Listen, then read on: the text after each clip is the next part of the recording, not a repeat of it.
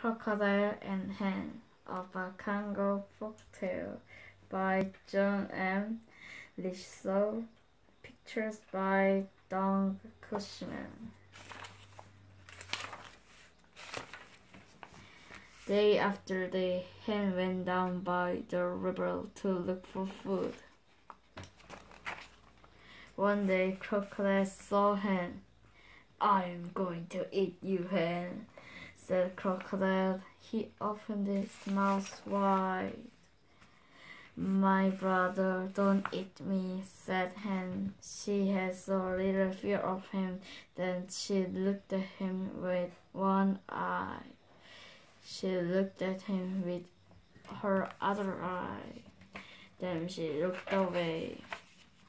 Crocodile shut his mouth. Snap! He could not eat Hen. He was he just could not do it. He was so surprised that he went on his way. But then Crocodile said, called me brother. How can how can how can I be her brother? How can she be my sister? I'm called Crocodile. She's called Hen. The next day, Hen went down by the river to look for food. Crocodile saw Hen. Now I am really going to eat you, Hen, said Crocodile. He opened his mouth wide. My brother, don't eat me. She has so little fear of him. Then she shut her, shut her eyes, or fluffed up her feathers. Crocodile shut his mouth. Snap! He could not eat hen. He just could not do it. He was so, surprised at hen. He went on his way.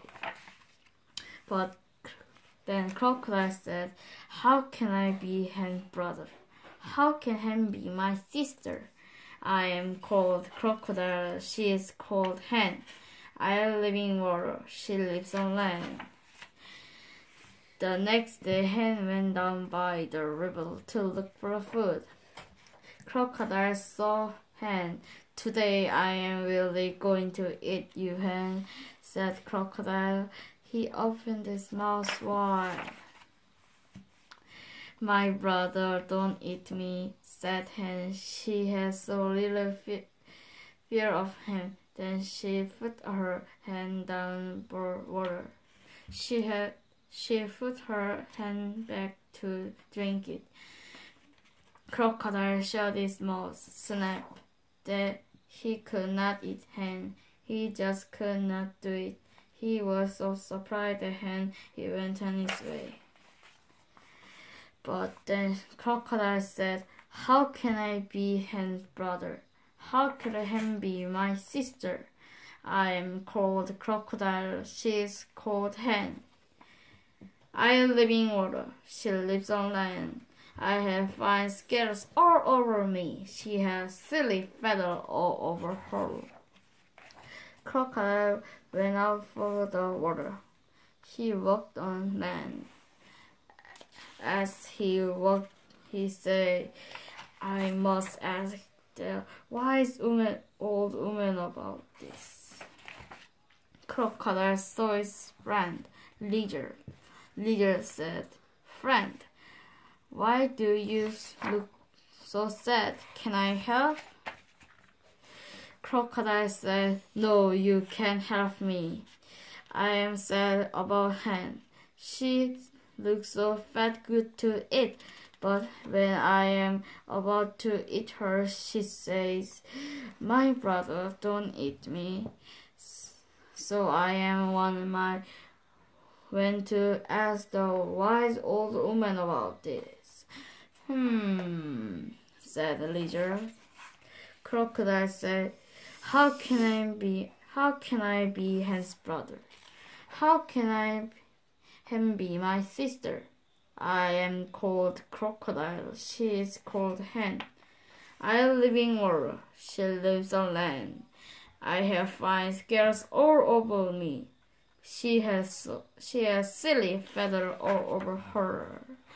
Hmm, said leader. I said you can help me, Crocodile said.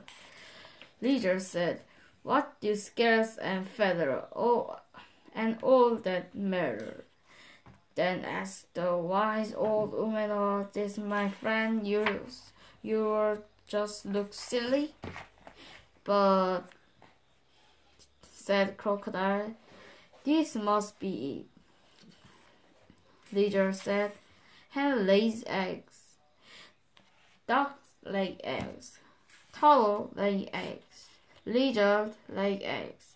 And crocodile lay eggs. We are all alike in this. So it's this way. We are brother and sister.